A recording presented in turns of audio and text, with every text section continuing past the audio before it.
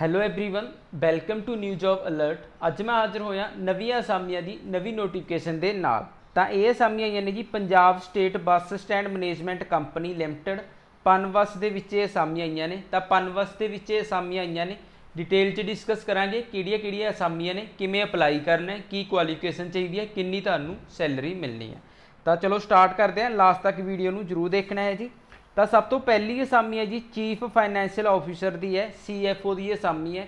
Qualification ਕੀ ਚਾਹੀਦੀ ਹੈ? Chartered accountant with minimum 2 year post qualification experience ਠੀਕ ਹੈ ਜੀ?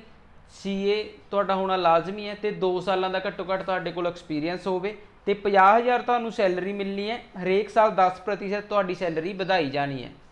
ਸੈਕਿੰਡ ਅਸਾਮੀ ਆਪਣੀ ਕੰਪਨੀ ਸੈਕਟਰੀ ਦੀ ਅਸਾਮੀ ਹੈ। ਕੁਆਲੀਫਿਕੇਸ਼ਨ ਕੀ ਚਾਹੀਦੀ ਹੈ? ਕੰਪਨੀ ਸੈਕਟਰੀ ਐਸੋਸੀਏਟ ਜਾਂ ਫੈਲੋ ਮੈਂਬਰ ਠੀਕ ਹੈ ਜੀ? ਸੈਲਰੀ ਮਿਲਣੀ ਹੈ 30000 ਇੱਕ ਮਹੀਨੇ ਦੀ ਤੇ 10% ਵਧਾਈ ਜਾਣੀ ਹੈ ਜੀ ਹਰੇਕ ਸਾਲ।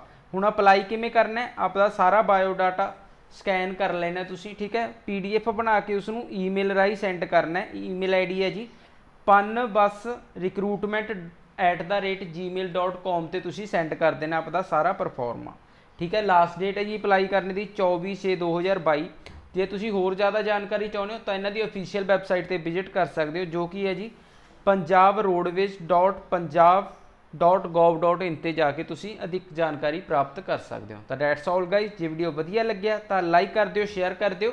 ਜੇ ਹਲੇ ਤੱਕ ਮੇਰੇ ਚੈਨਲ ਨੂੰ ਸਬਸਕ੍ਰਾਈਬ ਨਹੀਂ ਕੀਤਾ ਤਾਂ ਪਲੀਜ਼ ਸਬਸਕ੍ਰਾਈਬ ਮਾਈ ਚੈਨਲ ਧੰਨਵਾਦ।